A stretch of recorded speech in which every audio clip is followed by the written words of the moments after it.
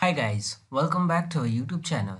So in this tutorial, we're gonna learn how can we measure volume of a 3D shape in AutoCAD. So for that we have here a cuboid with the length 10 feet, width 10 feet and the height as 5 feet. So to measure the volume, you just have to click on this home button and here in this utilities group, just click on this little arrow over there and then select the last option that is volume.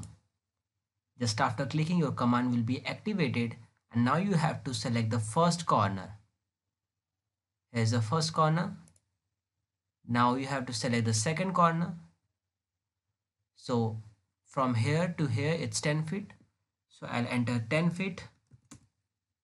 Here also 10 feet. And here the 10 feet.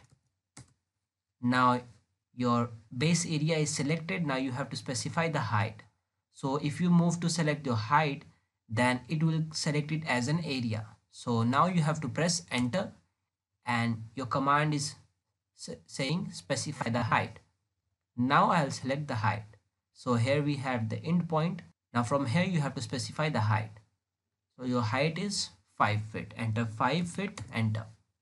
Now as you can see just pressing just after pressing enter your command is showing here volume 864.000 cubic inch. Okay? So this is the volume of this figure. Similarly you can apply this with another figure.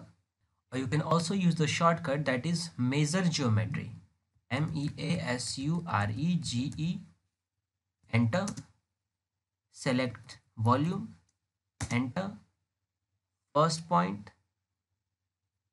Second point third point and the last point and the height. Okay? So here's the volume.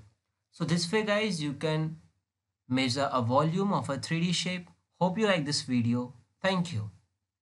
If you really like the content then please like the video and click subscribe to see more videos like this. And don't forget to share this video with others. You can find the link to complete basics to advanced Excel tutorial in the description below or you can visit mahagurus.com to see lots of other software courses. Thank you.